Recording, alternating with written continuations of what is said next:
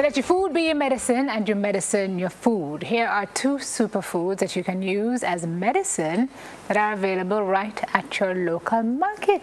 True. Take a look at this. It's a nutritious, well-balanced diet. Foods not only give us energy, but can also help with some medical conditions. Those special types are commonly called superfoods. The term has become popular in the language of food and health and pretty much speaks to ultra healthy foods that support a rich diet. In our quest to explore the Jamaican foods market, we've identified two superfoods that are readily accessible, inexpensive, and have exceptional health benefits. The sweet potato and the tomato have long been outstanding sources of nutrients, but are sometimes overlooked as remedies.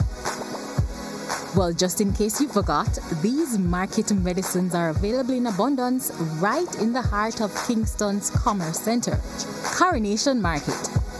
Nutritionist Dr. Joy Callender tells us why these foods are important and how supporting the local market can be of great value. There are some foods that have very high nutrients or a specific nutrient for its portion size or its calorie count. And both the tomato and the sweet potato are two of those foods. Some of the patients that I see are patients undergoing radiation treatment, and I try to guide them in terms of foods which are particularly nutritious.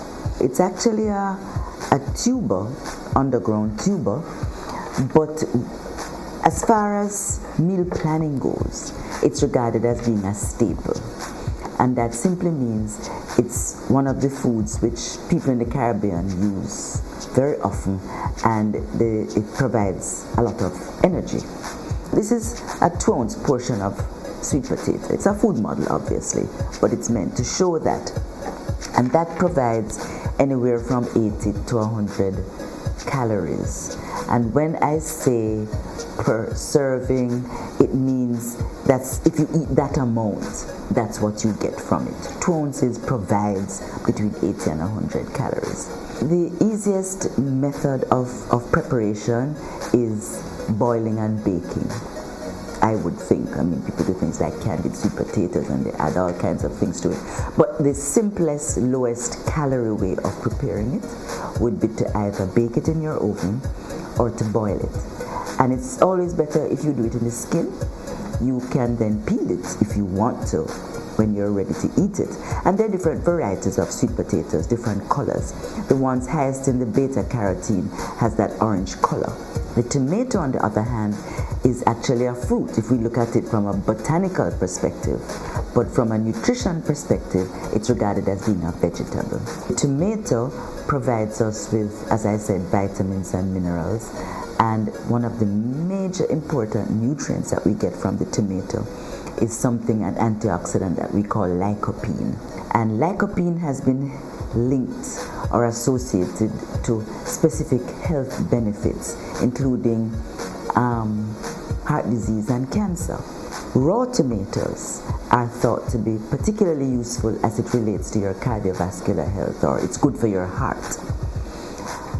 Cooked tomatoes that's where we get a concentrated lycopene, and that's the link to cancer, and in particular prostate cancer. The studies are ongoing, but we have significant data to suggest that it is in fact one of the very useful foods.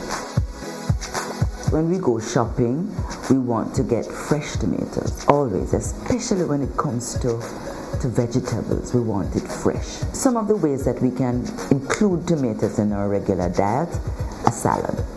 In fact, we talk about salad tomatoes as Jamaicans because you can cut up tomato and eat it and that is the vegetable. However, when I use the word salad, I'm talking about a raw um, combination of vegetables. So the most common thing for Jamaica is lettuce, cucumber, tomato. and we can make it more interesting by adding other things. But those are some of the basic ones. And a tossed salad would be the usual shredded cabbage and carrot, and you can add tomatoes to that. And when we do things like gravies, you pour off any excess oil when you've cooked, and you add your, your water and one of the main things you add is tomatoes, your scallion, your thyme and so on.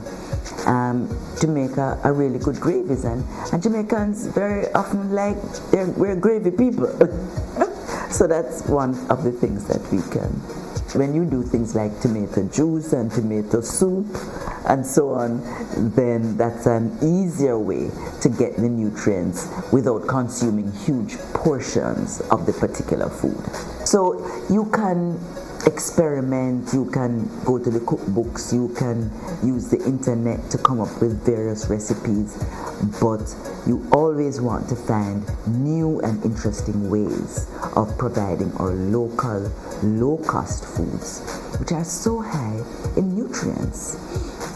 And the, the, the tomato and the sweet potato are prime examples of that.